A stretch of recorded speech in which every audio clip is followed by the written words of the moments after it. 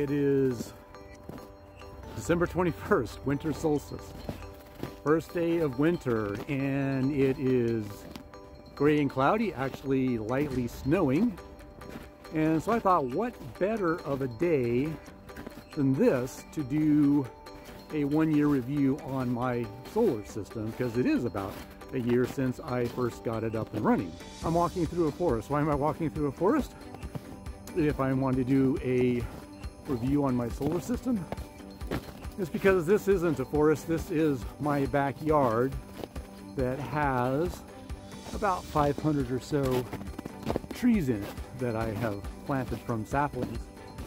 And they are causing a bit of a problem for my solar system as if the snow and the low angle of the sun wasn't enough. I have some trees that are causing me an issue.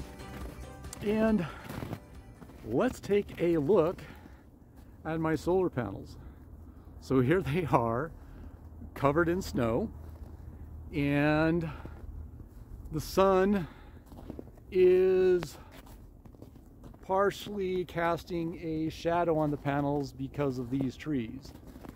If you watched my first video on my solar system, you may remember me saying that this system was only supposed to be here temporarily. I put it here just as a test trial or test run before plan is, plan was, plan is to move it to an off-grid cabin I'm building up in north central Idaho that project has been delayed a bit, so this still sits here for a while. When I installed this, oh, the snow was really picking up. When I installed this last winter, these trees were not a problem. Uh, even in the winter months, they were just fine. And the plan was, it was the system was not going to be here any later than maybe midsummer. But here we are into the following winter, and I can't believe it, but these trees probably grew about three feet, three and a half, maybe even four feet in one year. And that was enough for them to cast a shadow on here. So, um, yeah, that's, that's a kind of a problem. Uh, if these were going to be here uh, permanently, I would have to give serious consideration to lifting them up or cutting down a bunch of trees. I don't want to cut the trees down. I like them here. They provide a lot of uh, serenity and peacefulness in my backyard, so I want to leave them. But um, I actually have gotten used to having these panels here and I like them a lot, so I'm going to have to give that some thought. Uh, what I'm going to do with them, if I'm going to get a different set to take up to the cabin when we're ready for that, or if I'm just to let these things go and, and, take them up. We'll see about that. Uh, again, if I'm to leave them here, I got to do something different um, because in the winter months, they're not doing so good. So let's see what they're let's see what they're doing right now. I just can't imagine they're doing much. Uh, in fact, I checked a while ago and I think they were pulling out all of them together were putting out a whopping about 60 watts. Again, it's snowing, it's cloudy, and they're covered in snow. I can't even believe they're putting out 60 watts. These panels, by the way, there's these panels combined are there's 16 of them, 16 390 watt panels that are rated for that comes out to about 6200 watts. I've actually measured them putting out over 8000 watts on a bright sunny summer day. Um, here though, uh, yeah, not doing so well. So my system is split into two arrays. Array one, which is the farthest eight panels, and array two, the closest ones. So right now, number one is producing seven watts. The other one I think is doing 28. Uh, take a look up here. Let me go ahead and clean the snow off of these and see if we make any difference whatsoever.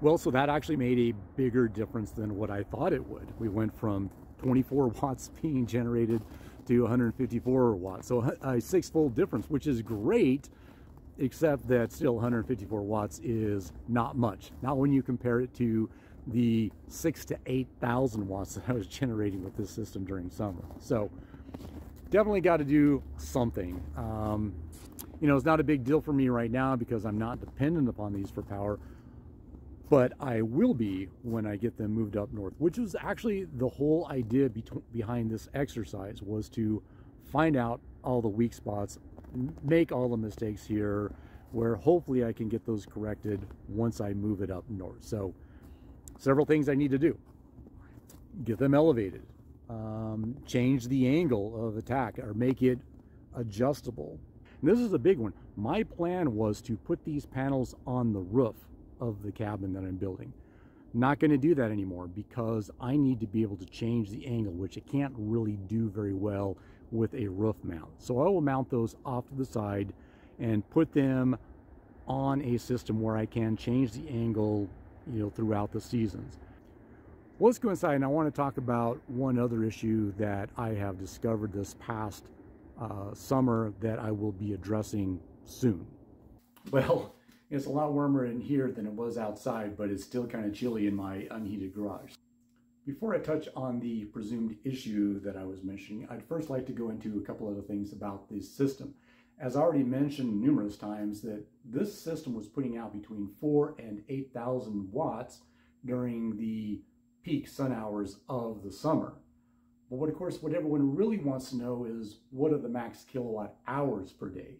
Well, that's a little bit tricky. What I can tell you is last winter, between January and March timeframe, I was averaging 24 kilowatt hours a day. Now that was enough to run 3,000 watts of space heaters for five, six hours a day and allow enough power left over to run most of my house lightings, computers, kitchen appliances, refrigerator, microwave, toaster oven, that sort of things, as well as my deep well pump all the rest of the day.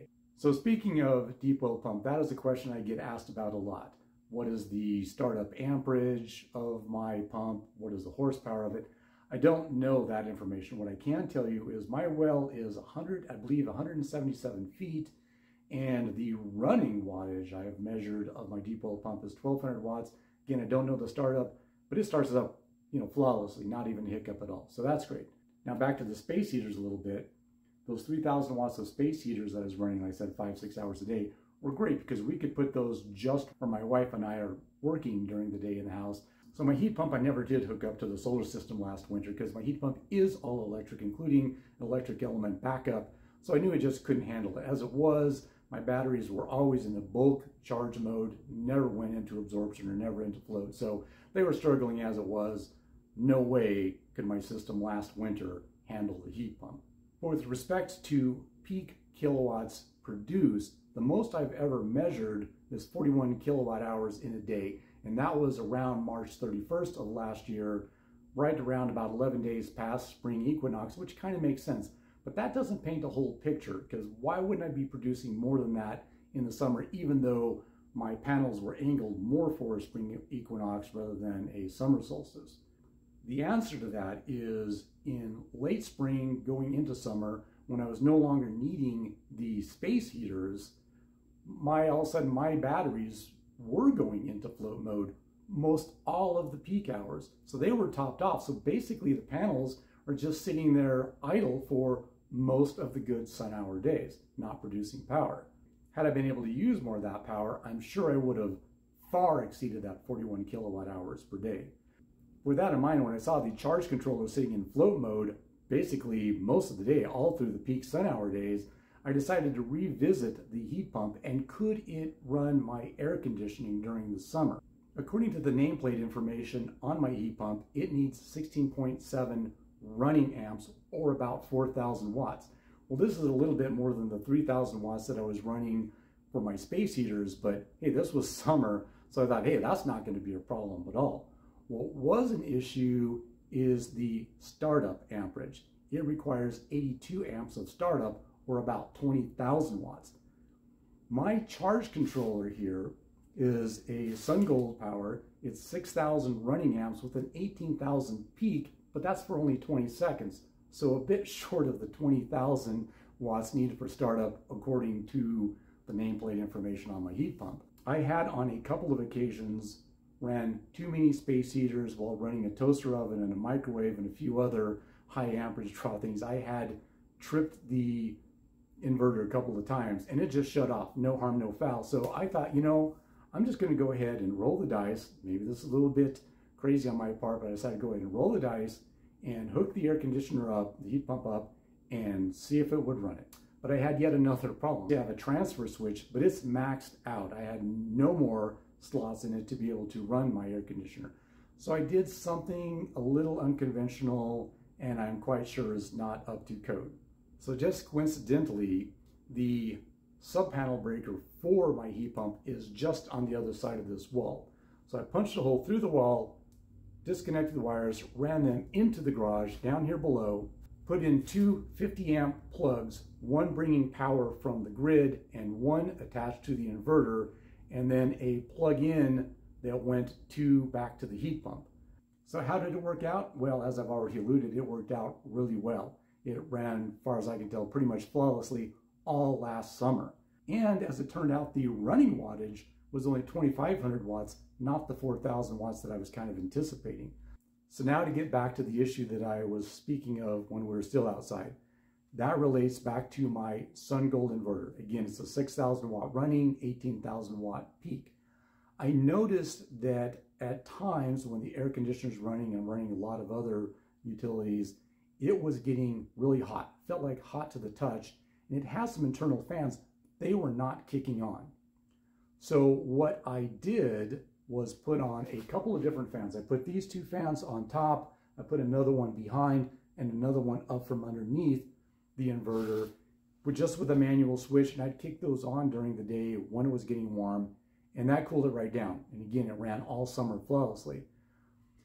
But later this fall, when I realized my warranty was about to expire on this thing, I thought, you know, I better check that out, make sure I don't have a warranty issue, a warranty claim issue. So I contacted SunGold, and to their credit, they were very responsive. The information I got back from them was that yes, it does have a couple of fans that kick on, but they don't kick on until it reaches an internal temperature of 60 C or about 140 degrees Fahrenheit, and then they only kick on about half speed.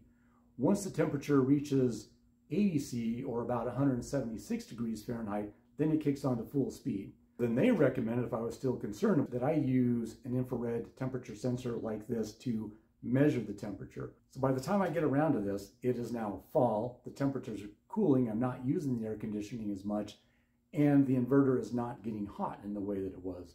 So this sensor, while great, and I can measure temperature, I'm not measuring anything that's even warm to the touch, let alone hot. So I have this for next summer for sure. So I'm going to give SunGold the benefit of the doubt that those temperatures are normal and within spec. It still seems kind of hot to me. I like the idea of cooling them down. The fans that I put on worked great, but manually switching them was kind of a pain in the butt. So what I'm going to do is I got this temperature sensing switch but the problem with it is 12 volt. My system is 48 volts, so I also got a transformer to take step 48 volts down to 12 volts. I'm going to connect that all up. The other thing I'm going to do is the way I have this tucked into the corner here doesn't really allow for that great of ventilation. But this is the spot. This is where I had to have it. It's not ideal, but it's really where I needed to put it. So my plan is I'm going to change the orientation of the inverter, rotate it perpendicular and put it against this wall where it can get much better airflow and then probably move my charge controllers over to this wall. Again, have a fan both on the charge controllers, which were not a real problem. They didn't get really warm, but I'm gonna go ahead and put a fan on them, a couple of fans on the inverter. So if you're interested in seeing that, how that's done, how I do that, uh, look for it. And this is actually a good time to like, subscribe if you haven't already. Appreciate that and then you'll get notified of when I have that video ready to go. In addition to that, one of the other projects I have lined up that I would like to do is kind of, again, kind of an experimental thing, is I do have some extra solar panels that I want to mount to a tilt system where I can adjust the angle of the panels and then check that out. Put them into the sun and rotate them same 45 degrees that I currently have my existing panels and then and measure the wattage output and then rotate that to an appropriate angle for my latitude for winter and see how much of an improvement I can get. If you find that interesting, again, look for that video coming up, hopefully in the not too distant future. Incidentally, before starting the indoor section of this video, I noticed that the sun was starting to peek out through the clouds, so I did another check on how the panels were doing. They went from doing that previous 154 watts to 1,411 watts. So a pretty good improvement considering that there's still some cloud cover and they are being cast with a shadow from the trees. If I could get them elevated and rotate the angle to a more appropriate winter solstice angle, I could probably at least double that. Worth doing, I think. So that's another project that I'm going to be looking at doing in the hopefully not too distant future. Well, if you have any suggestions or thoughts, questions, please drop those in the comments below. And until I see you in one of the next videos, stay safe and keep building your dreams.